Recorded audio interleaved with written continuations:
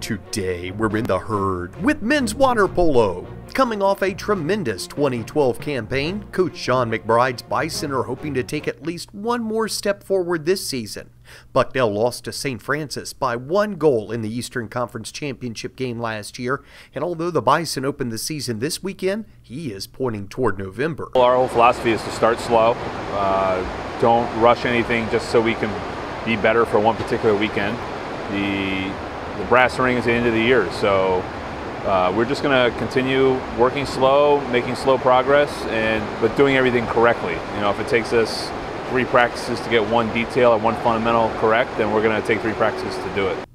He says that while Bucknell graduated two great players in Brian Barron and Matt Napleton, he believes his team will find a way to pick up the slack with Keegan Williams in cage and a host of others helping offensively. But the great thing is, is that our goalie that's playing, starting for us this year, got an opportunity to play behind Matt for two years and go through the same training. And, and he, we, are not going to miss a beat with him. He's fantastic. He's a great goalie.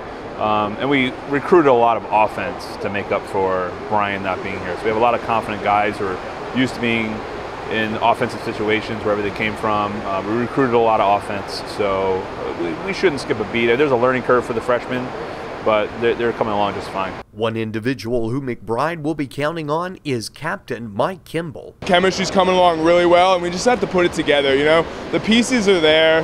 We have a great team. We have a lot of talent, phenomenal coaching, great water polo IQ, but we just got to put the pieces together. He says it was a great move by the coaching staff to alternate he and fellow senior Jack Else in the two meter or center position. Whenever I'm in and I see Jack come off the bench or he's in and he sees me come off the bench, he knows immediately that we're swimming because it is. It's a very taxing position. And after about three minutes of it, I'm not going to be as useful. I'm going to be exhausted. Coming back to defense, I'm a little slower. So, yeah, it's better for the team and better for our offensive firepower if Jack and I switch a lot. And we, we've basically gotten used to it. We play about three minutes apiece, switch, and then it just it works out pretty perfectly, actually. It's, it works great that we have two centers, good talented centers that can play with each other like that. And yeah, it's a good. We talk, Kyle's a great center coach, and he's been able to substitute us like that perfectly, and it's a really good strategy.